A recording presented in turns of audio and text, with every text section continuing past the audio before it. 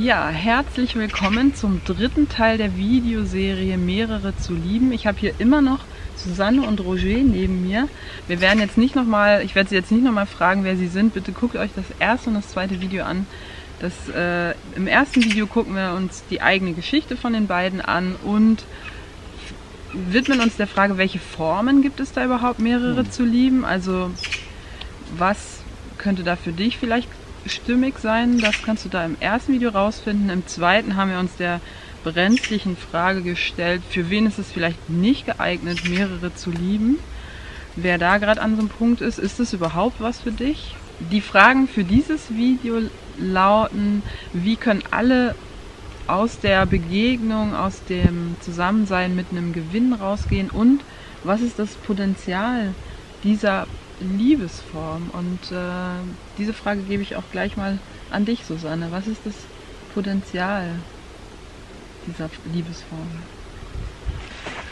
Also jetzt mal rückblickend auf die vielen Jahre, womit ich mich damit beschäftige, ist das Potenzial für mich vor allen Dingen, dass ich äh, Werte in mir kreiert habe, wie Achtsamkeit, ähm, Mitgefühl, was bedeutet eigentlich wirklich inneres Glück für mich?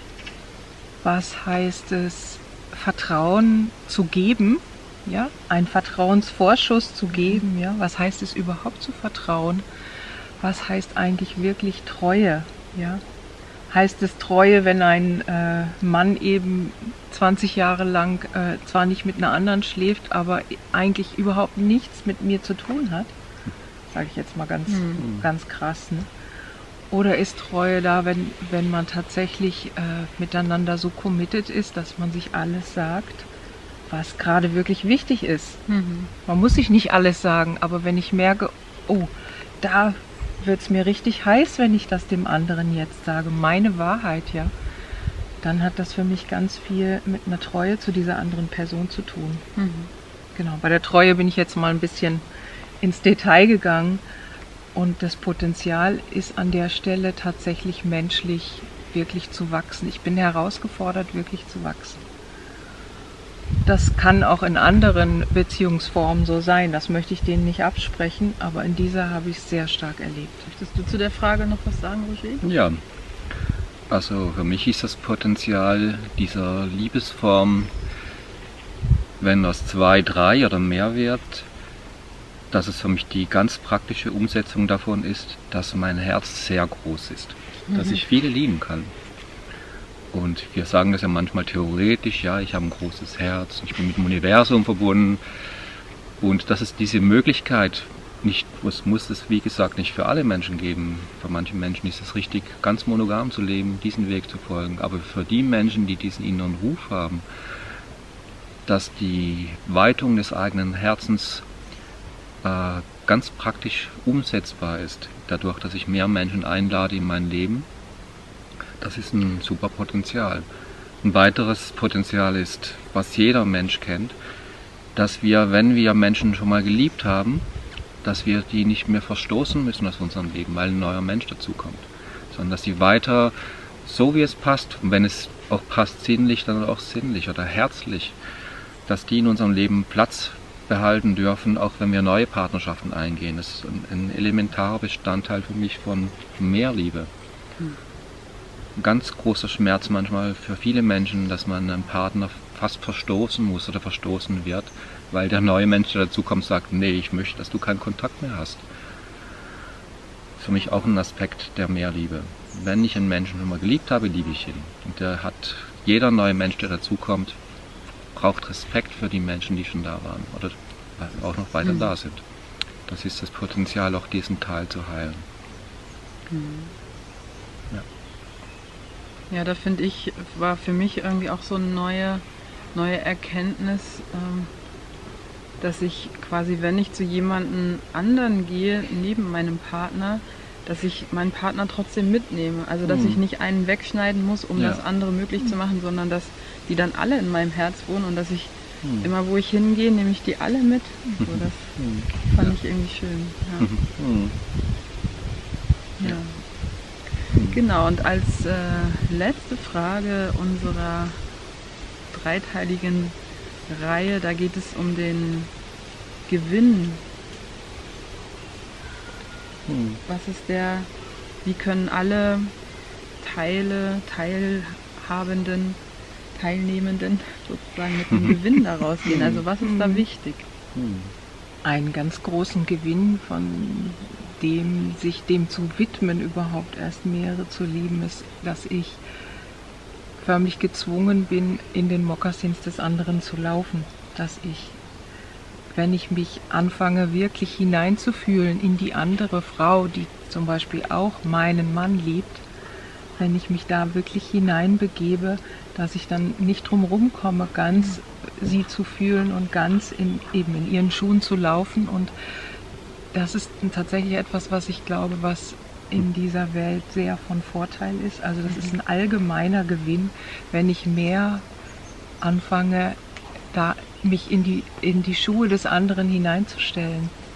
Ich glaube, dass ein Grundübel im Moment ist in der Welt, dass wir uns immer wieder sehr separieren und dass dadurch eben Streit und Krieg entsteht, jetzt mal in der Kurzform gesagt. Und indem ich anfange, mich ganz in den anderen hineinzuversetzen, kann ich das gar nicht mehr, Mhm. also mich so zu separieren. Also es ist fast eine, ich sag mal, eine spirituelle Aufgabe,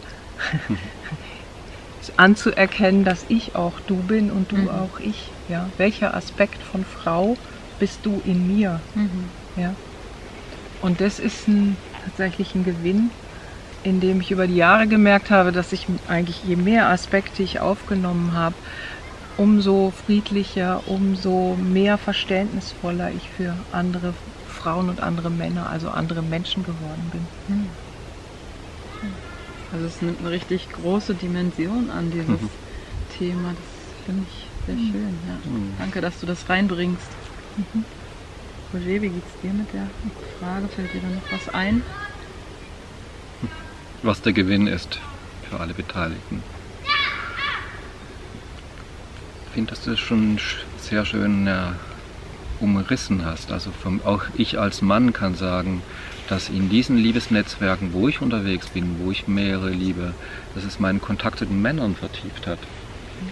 Also das, wo vorher Konkurrenz war, vielleicht Misstrauen, kann durch diesen gemeinsamen Weg kann eine ganz andere Art von, von Nähe entstehen, von Verständigung, von Vertrauen, was bisher, was ich vorher noch nicht so in meinem Leben erlebt habe.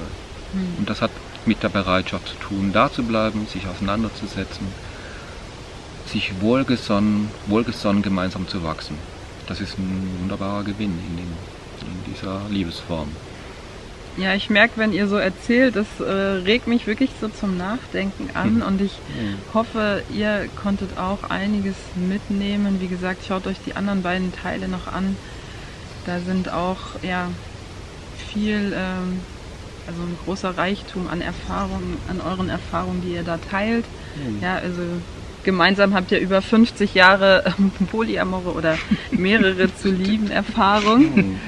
Und äh, genau, und wenn euch das jetzt mehr interessiert, ähm, die beiden haben auf ihrer Webseite Artikel einmal über ihre eigene Geschichte. Also ich lerne immer sehr viel über die eigene Geschichte auch und auch über das Thema einfach noch mehr nachlesen könnt. Es gibt auch noch andere Videos von euch und da jetzt auch noch die Möglichkeit, ähm, natürlich Seminare zu besuchen, so wie ich die beiden auch kennengelernt habe, was ich wirklich euch sehr ans Herz legen kann. Die sind da sehr liebevoll, offen und persönlich. Also so jeder wird da abgeholt, wo er gerade steht. Und ihr habt eine ganz tolle Jahresgruppe, die ihr startet. Wollt ihr da mal zwei, drei Worte zu sagen? Mhm. Also wir werden ab 2019 eine Trainingsgruppe für Meere zu lieben starten, weil wir gemerkt haben,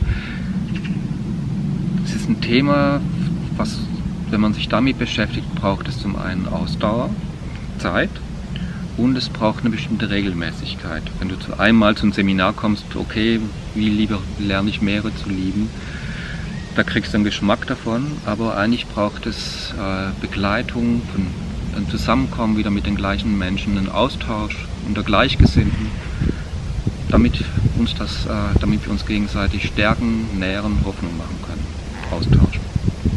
darum werden wir eine Trainingsgruppe anbieten 2019. Genau, die Webseite verlinke ich euch auf jeden Fall unten in der Infobox und da könnt ihr dann alles ganz genau, also die Daten und so nachschauen. Und ähm, ja, ich danke euch sehr, dass ihr euch die Zeit genommen habt Danke dir. ähm, für die Inspiration. Und ja, wünsche euch alles Gute auf dem Weg und Ja, vielen Dank für die Dankeschön. Möglichkeit. dann ciao. Tschüss. Tschüss.